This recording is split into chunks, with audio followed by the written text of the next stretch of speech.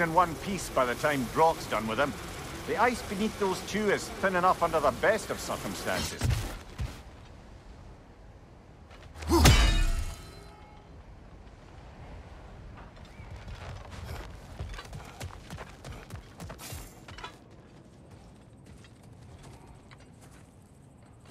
Where is everyone?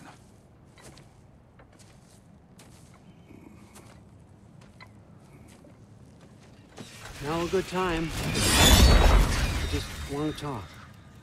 Dad to dad. Speaking of which, imagine my surprise when Atreus came knocking at my door.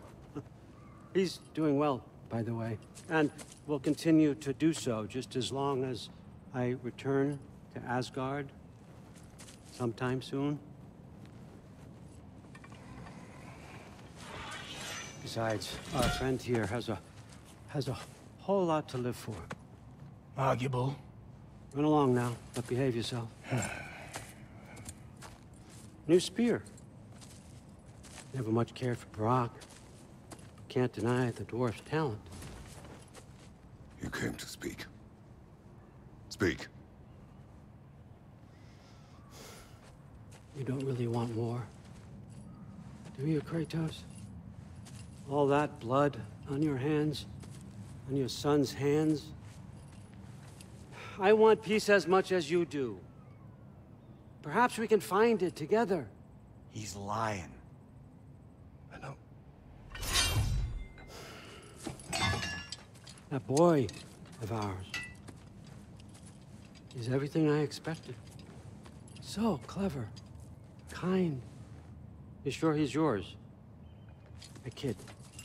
You really ought to be very proud. He is the key to peace in our age, to break free from all this fate and prophecy. My son is not your key. Oh, God, do they not have metaphor in your homeland? Or rather, did they? I'm sorry, that's not fair. I know you're not the god you once were. And now is your chance to prove it. Return my son, or you may meet the god I once was. And what kind of god is that, Kratos? What do you even know of godhood? In your lifetimes, has anyone ever worshipped you? Ever prayed to you? Can you even imagine that kind of love? No! You don't care about mortals. You don't care about anything beyond yourself. Beyond the monster who kills without cause. You fear what you can never even hope to understand.